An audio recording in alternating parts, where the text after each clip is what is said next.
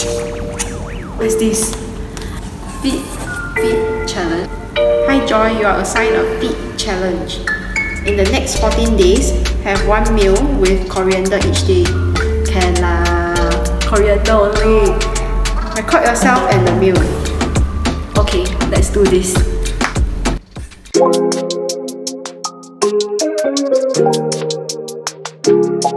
I've got my coriander. So I went online to search what are the benefits of coriander.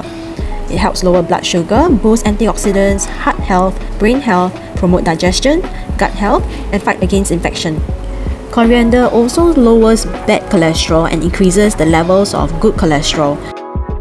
Day 1, I did a breakfast wrap and make a slit. Put tzatziki sauce, tomatoes, chicken breast, cheese, and coriander. I folded it into quarters, like how I saw it on TikTok, and grill it on the pan. Here we go. This is my breakfast wrap for day 1. Day 2, toast, scrambled egg, and guacamole.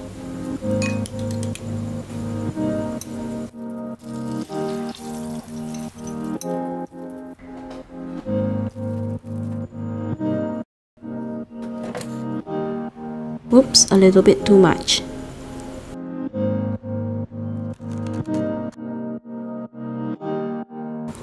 Day 3, I went out to get some fish soup for myself. They've added anchovy, fried shallot, and seaweed. Realized that there isn't much coriander choices outside. But don't worry, I brought mine along for this challenge. And we are all good. I finished all my coriander. Day 4, I made some vongole pasta with coriander and chili padi. Tasted so good, but I've forgotten to make some videos on it. Day 5, I went to Plentiful Deli to have some Vietnamese banh mi. Asked for more coriander into my sandwich.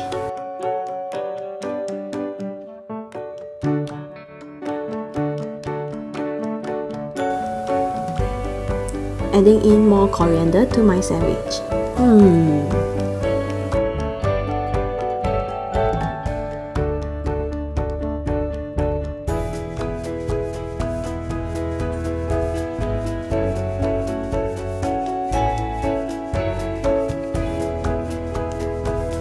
Look at the colors, so vibrant and delicious looking. The flowing out carrots and coriander. Go and try it.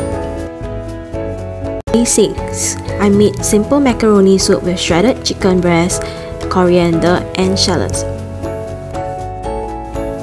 Can you guys guess what I'm making? This is the Taiwanese coriander ice cream wrap. I put in some healthy granolas and keto ice cream.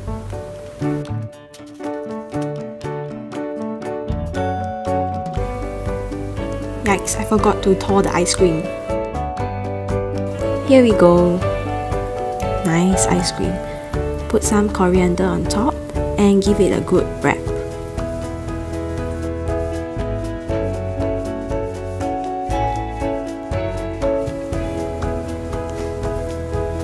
And here is my wrap. I miss Taiwan so much. If you haven't tried this before, I think it's good to give it a try too. Mmm, so nice. Day 8. I made some dumplings together with my sister. I got some marinated meat and add in coriander. Scoop a little bit of meat and put on the dumpling wrap.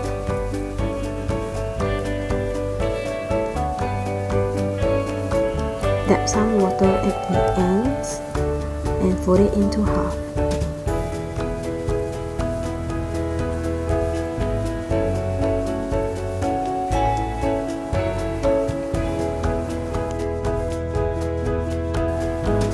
Wrap it around again.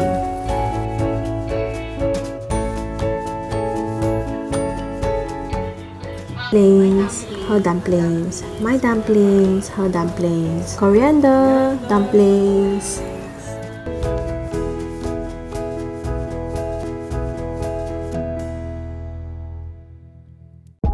Day 9, I made some tropical smoothie with mango, pineapples, ice cream, and coriander to blend along.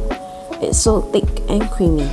You can feel the tiny bits of coriander in it and it gives a very different and unique taste. ordered some popiah to wrap today and I'll show you what we have here. We have carrots and turnips, popiah skin, garlic and chili, eggs, peanuts, lettuce, and fried crispy beets, sweet sauce and coriander.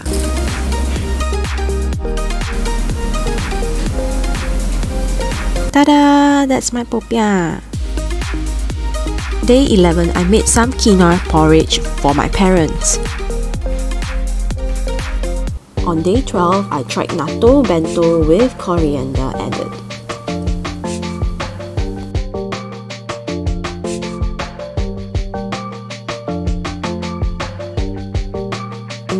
Mixed in the coriander together with the natto and give it a very good stir.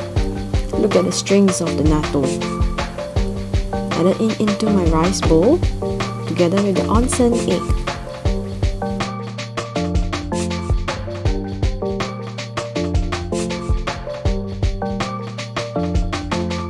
Itadakimasu!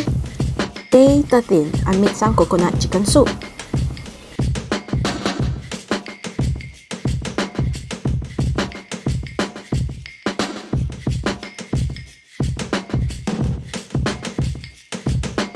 Done! Ta-da! It's the last day, so I've made some coriander infused water to try. It's so pretty to see and nice and refreshing. I would fare at 8. To me, coriander, it is not quite a challenge, but to eat it consistently for 14 days, it is a little bit too much. It is very flavorful and strong, it elevates the taste of food and gives different levels of texture. Personally, adding coriander into my meals, it helps to uh, it helps with my digestion. At the same time it relieves a little bit of stress. Probably it's because of the flavors that coriander gives out. To incorporate coriander into the meals is very very easy. It can be treated like a garnish or to elevate taste of your food or your soup and even drinks. But to buy it to buy food with coriander outside I think it's a little bit difficult not many places outside will have coriander available uh, most of my meals have to be homemade at home to have coriander probably it's because coriander is not liked by many. Personally, I feel the smoothie that I've made, mango, pineapple and coriander, it tastes pretty well. The taste of the mango and pineapple overwhelms the taste of the coriander. Thus, I think it's quite a good starter to start with if you want to try something with coriander. Yep, I will include, I'll continue adding coriander into my meals.